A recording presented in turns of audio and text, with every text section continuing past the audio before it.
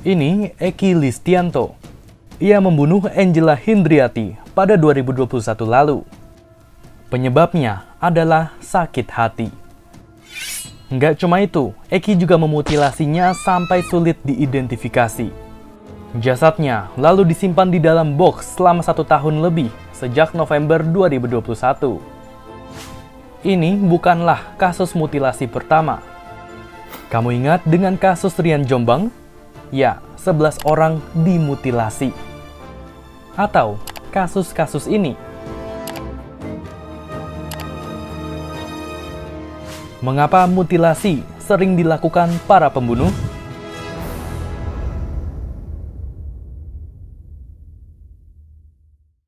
Eki dan Angela berkenalan lewat forum Kaskus pada tahun 2018. Mulanya kerjasama proyek hidroponik dan berlanjut ke tukar nomor. Pada 17 Agustus 2018, mereka bertemu untuk yang pertama kalinya, dan setelahnya kian akrab. Namun, Angela sempat hilang di Bandung pada Juli 2019. Pihak keluarganya pun melapor ke polisi. Juli 2021, korban tiba-tiba mengajak Eki untuk ketemuan di apartemen Kalibata City. Ternyata selama dua tahun itu, Angela sembunyi di sana. Mereka malah jadi punya hubungan spesial, walaupun Eki sudah punya istri. Relasi berlanjut sampai pada 2 November 2021, korban bertemu pelaku di kosan Eki dan mendesak untuk dinikahi. Eki menolaknya. Angela pun marah dan mengancam bocorkan perselingkuhan mereka. Eki ngamuk dan korban dicekik sampai tewas. Eki panik ia membeli kopi untuk samarkan bau mayat dan kembali ke rumahnya selama dua hari.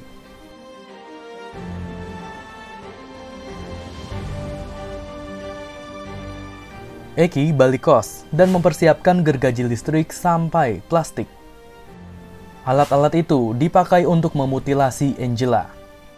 Korban dimutilasi agar muat dimasukkan ke dalam box kontainer. Aksi sadis Eki tidak terendus sama sekali. Sampai akhirnya pada 30 Desember 2022, polisi menemukan jasad Angela. Penemuan itu berawal dari laporan istri Eki ke polisi. Ia bilang kalau Eki hilang. Eki ternyata nggak hilang, ia cuma pura-pura hilang. Ia pun ditangkap dan kasus pembunuhan Angela terkuak.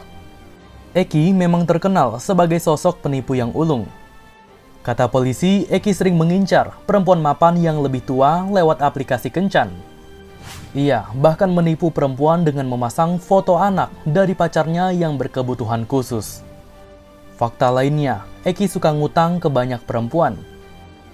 Ia juga ngaku kalau dokter, meskipun aslinya enggak lulus kuliah.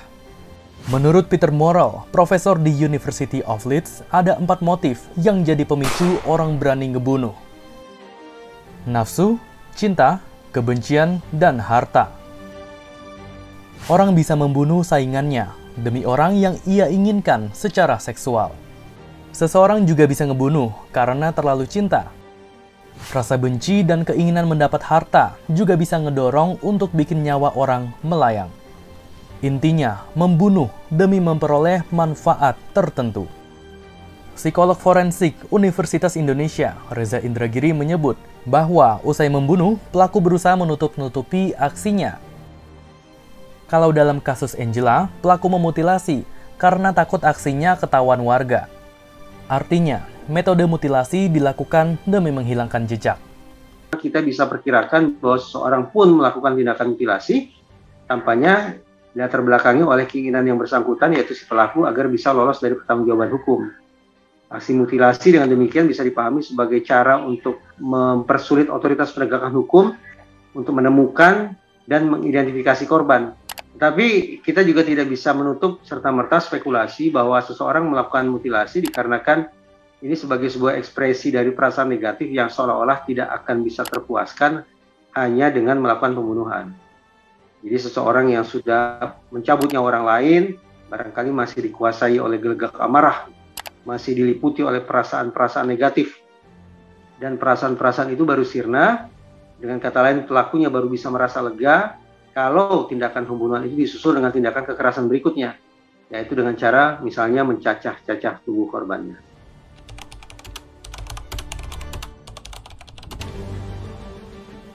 Halo, saya Juan Robin. Saya menyusun laporan ini. Kamu bisa menonton video explain lainnya dari kami di kanal YouTube Narasi Newsroom. Kami membahas berbagai tema, mulai dari kucing sampai pembunuhan misterius.